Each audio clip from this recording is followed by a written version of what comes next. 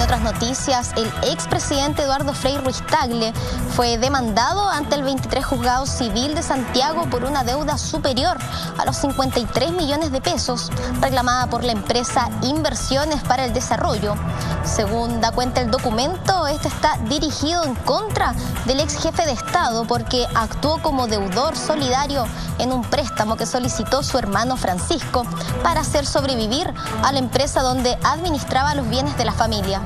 Esta es la primera vez que el embajador plenipotenciario para el Asia-Pacífico de Sebastián Piñera se ve involucrado en una causa judicial por cobros de dinero, desde que el pasado 16 de agosto Francisco Frey se autodenunciara ante la Fiscalía.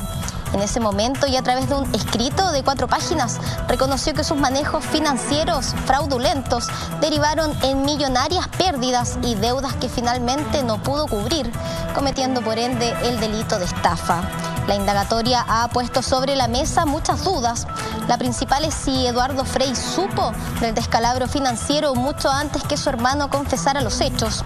Al respecto, el ex jefe de Estado ha sostenido que siempre confió en Francisco y que por esa razón le había entregado un poder amplio para manejar el vehículo de inversión, desligándose de cualquier responsabilidad.